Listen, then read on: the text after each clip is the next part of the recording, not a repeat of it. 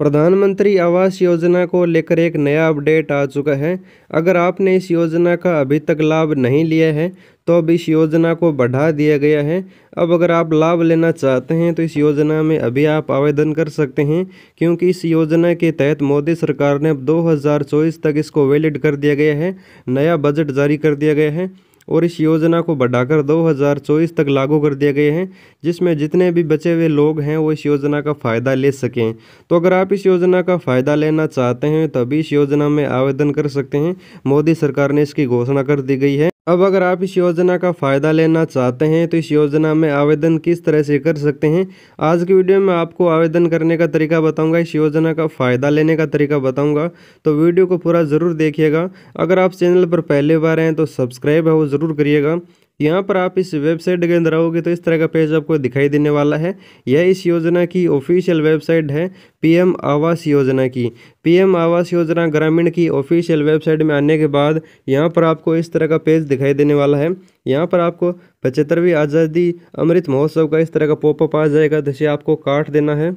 फिर यहाँ पर इस तरह की वेबसाइट आपकी मोबाइल, लैपटॉप में जहाँ से भी आप इस योजना का वेबसाइट ओपन कर चुके हैं, इस तरह का दिखाई देने वाला है। तो यहाँ पर आने के किसान भाई बहुत सारे ऑप्शन आपको दिखाई देने वाले हैं। यहाँ पर आप अपने गाँव, शहर की जितने भी पहले मकान बने हैं, उनकी लिस्ट देख सकते हैं। इस योजना में अभी तक जितने भी लोग जुड़ चुके हैं, उनकी डिटेल देख सकते हैं। फिर बात आती है, अगर आप इस योजना में जुड़ना चाहते हैं तो आपको क्या करना पड़ेगा? प्रधानमंत्री आवास योजना ग्रामीण में अगर आप आवेदन करना चाहते हैं, आपका गाँव में घर है और उसे नया बनाना चाहते हैं, आपके पास पक्का मकान नहीं है तो इस योजना के तहत आप बना सकते हैं।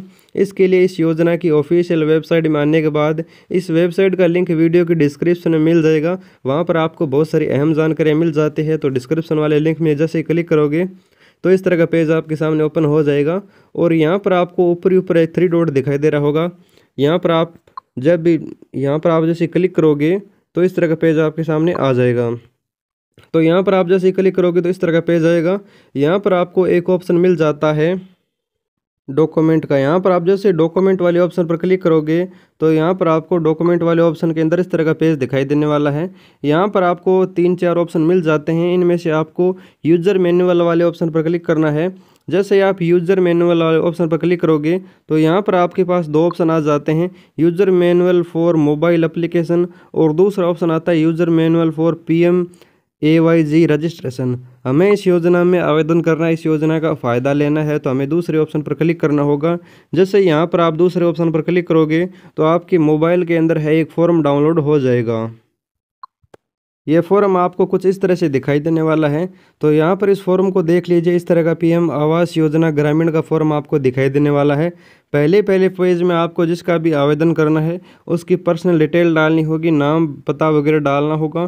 फिर आपको यहाँ पर अपनी ग्राम पंचायत विलेज तहसील, जिला जो भी आपका है, वो डिटेल डालनी होगी। अपना स्टेट चूज़ करना होगा, सब कुछ यहाँ पर डालना होगा। और आपकी बैंक की डिटेल भी यहाँ पर डालनी होगी।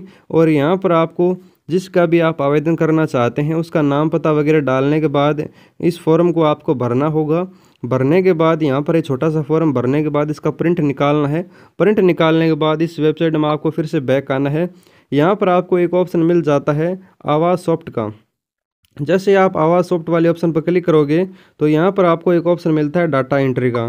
तो अगर आप इस योजना में आवेदन करना चाहते हैं तो यहाँ पर डाटा एंट्री वाले ऑप्शन पर जैसे ही क्लिक करोगे तो इस तरह का पेज आपके सामने आ जाएगा। तो यहाँ पर आपके सामने बहुत सारे ऑप्शन आ जाते हैं। इनमें से M I S data entry F T data entry और डाटा एंट्री फॉर आवास। तो यहाँ पर आपको डाटा एंट्री फॉर आवास वाले ऑप्शन पर क्लिक करना है। जैसे आप डाटा एंट्री वाले ऑप्शन पर क्लिक करोगे तो यहाँ पर आपको सबसे पहले अपना स्टेट चूज़ करना है। आप जिस भी स्टेट से इस योजना का आवेदन करना चाहते हैं, आप जिस भी स्टेट से आवास योजना का मकान लेना चाहते हैं तो आपका अपना स्टेट है, वो चूज़ कर लीजिएगा। तो फ़िलहाल यहाँ पर मैं आपको स्टेट चूज़ करके दिखा देता हूँ। स्टेट चूज़ करने के बाद यहाँ पर आपको कंटिन्यू वाले ऑप्शन पर क्लिक करना होगा। जैसे आप कंटिन्यू वाले ऑप्शन पर क्लिक करोगे तो इस तरह का पेज आपके सामने आ जाएगा। यहाँ पर आपको यूज़र नेम और पासवर्ड डालने का ऑप्शन मिलेगा। तो अगर आप एक किसान बेनिफिशरी हैं, इस योजना का फ़ायदा ले रहे हैं, आप एक लोकल हैं तो आपके पास यूज़र आईडी और पासवर्ड नहीं होंगे। इसके लिए आपको इस योजना का जो फॉर्म आपने अभी भरा है, आपने जो प्रिंट किया है, उस फॉर्म को लेकर आपको अपने ब्लॉग में जाना होगा। या फिर अगर आपके पंचायत में कभी आवास योजना के फॉर्म अप्लाई हो रहे हों, उस समय यह फॉर्म आपको अपनी पंचायत में देना है, या फिर आप अपने ब्लॉग में जाकर इस योजना के अधिकारियों को दे सकते हैं और इस योजना का आप फ़ायदा ले सकते हैं। क्योंकि ऑनलाइन फॉर्म जमा कराने के लिए आपको यूज़र आईडी और पासवर्ड की ज़रूरत पड़ती है। यह सिर्फ़ पीएम आवास योजना के अधिकारियों के पास होते हैं। लेकिन अगर आपके पास आईडी पासवर्ड नहीं है तो आप अपने ब्लॉग में या फिर अपनी पंचायत में जब भी ऑनलाइन आवेदन हो, उस समय यहाँ पर आप फॉर्म जमा करा सकते हैं और डॉक्यूमेंट दे सकते हैं। और इस योजना का फ़ायदा जब मिलेगा आपको, उस समय आप अपनी लिस्ट में नाम चेक करके इस योजना का फ़ायदा ले सकते हैं। तो यहाँ पर आपको आसान तरीका बताया, इसलिए वीडियो को लाइक और चैनल को सब्सक्राइब ज़रूर ज़रूर करिए। धन्यवाद, किसान भाइयों।